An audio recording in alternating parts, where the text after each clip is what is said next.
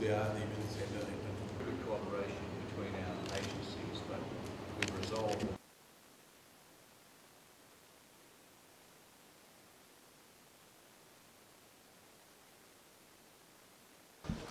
I will start then I shall have the floor to you.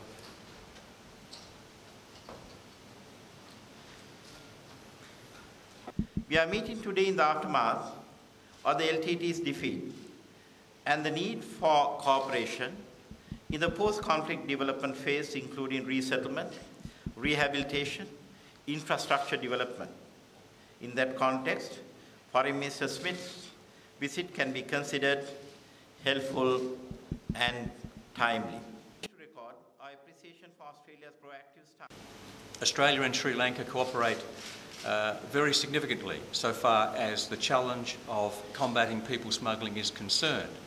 But we've uh, agreed that uh, there is more that uh, we can do, and that's reflected by the memorandum of understanding we've signed so far as legal aspects, uh, legal cooperation against people smuggling are concerned, particularly uh, in areas of uh, prosecution, in areas of information sharing, in areas of disrupting the activities of, of the people smugglers.